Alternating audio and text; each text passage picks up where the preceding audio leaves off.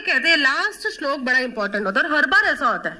Last श्लोक ही बड़ा important होता है। जय पराजय, लाभ, हानि और सुख, दुख को समान समझकर देखो, युद्ध होगा तो जय या पराजय होगी। जय या पराजय होगी, जीत या हार होगी तो इसका मतलब लाभ और नुकसान होगा। लाभ और नुकसान होगा तो सुख और दुख की अनुभूति होगी कि नहीं? जैसे लाभ हुआ उसे सुख, जैसे नुकसान हुआ उसे दुख।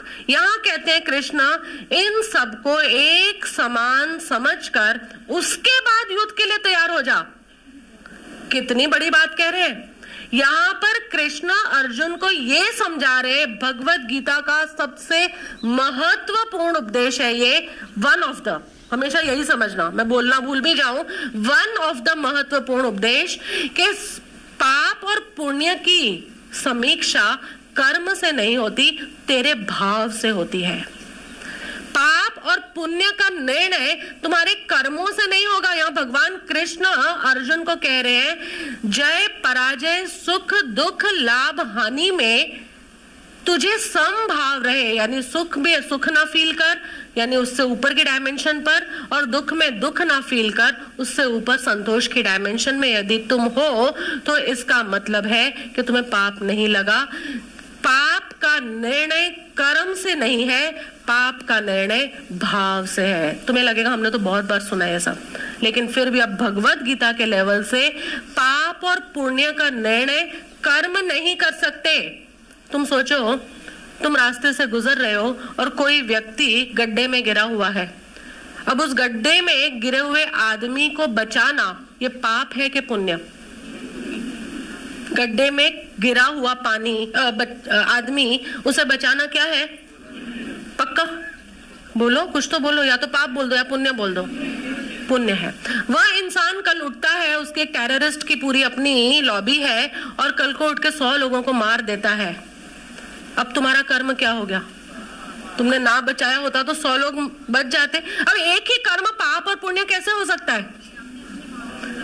तुमने अच्छे भाव से उसे बचाया, बात खत्म वही की वही, क्योंकि कर्म जो है ना, वो छाप छोड़ के जाता है।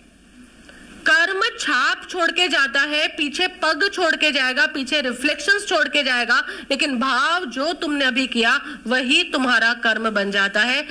एक व्यक्ति ने पूछा था इसी की, भगवत गीता की मैं विवेचन पढ़ रही थी उसमें कि हिटलर के कारण सेकेंड वर्ल्ड वॉर हुआ? हुआ।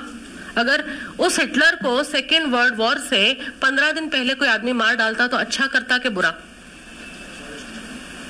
भाई, तुमसे पूछ रही हूँ। और जब मैं पूछूँ तो उसका जवाब देना तुम्हारा स्वधर्म है।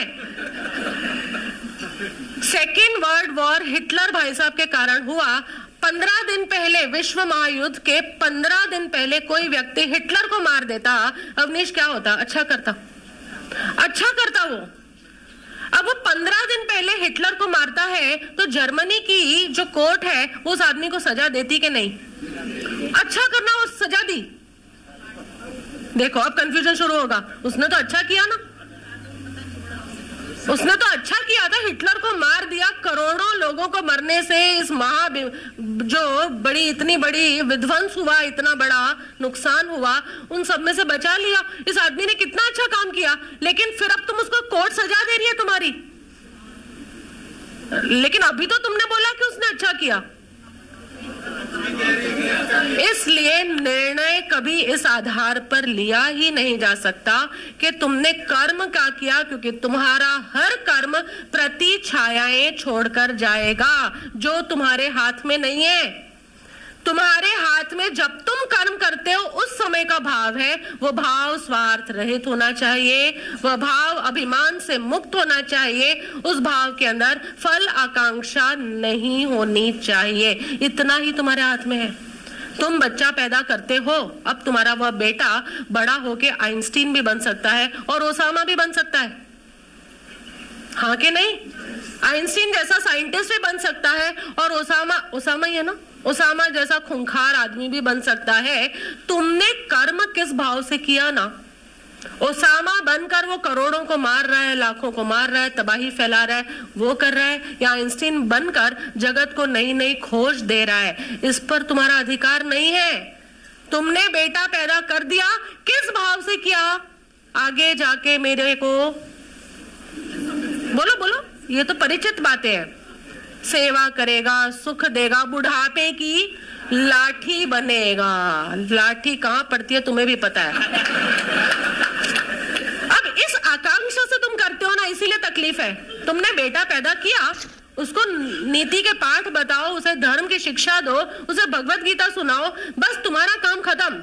फिर स्वार्थ हो, अभिमान हो, मेरे जैसा बेटा किसी का नहीं, या फिर फल आकांक्षा हो तो अब ये कर्म तुम्हारा बेकार हो गया। कृष्ण या ये घोषणा कर रहे हैं कि कर्म का संबंध तुम्हारे पाप और पुण्य का संबंध तुम्हारे कृत्य से, तुम्हारे एक्शन से, तुम्हारे कर्म से नहीं है। पाप और पुण्य का संबंध खाली और खाली तुम्हारे भाव से है। अद्भुत बात है। जैनों ने थोड़ी सूक्ष्म बात की। हमने वो भी अभी नौ तत्व में डिस्कस की। लेकिन फिर भी कोई बात नहीं। आश्रव के खाते में डाल रहे हैं सब कुछ। सब कुछ आश्रव चल रहा है।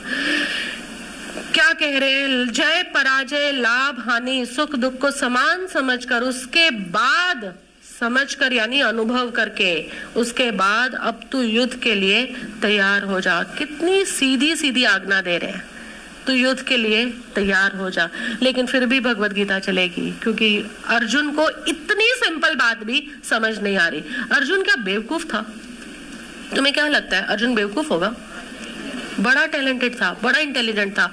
लेकिन अभी उस पर मोह का आवरण आया है। जब तुम भी मोह में आ जाते हो ना, तब यही काम होता है तुम्हारे साथ भी। हाँ के नहीं? जो इतनी ऑब्वियस बात लग रही है, अरे यहाँ पर तो अभी कृष्ण ने बोल दिया, अर्जुन तो युद्ध के लिए तैयार हो जा। तो अब तो उठ। लेकिन अभी भी नहीं मान रहा अर्जुन। ये बता क्या रहा है? कि जब इंसान पर मोह आ जाता है ना, तब ऑब्वियस सा स्वधर्म भी उसको पहचान में नहीं आता। कितना ऑब्वियस तुम इतने लोगों के लिए कितना ऑब्वियस है? अर्जुन को युद्ध करना चाहिए। है कि नहीं? लेकिन अर्जुन के लिए ऑब्वियस नहीं है। क्यों?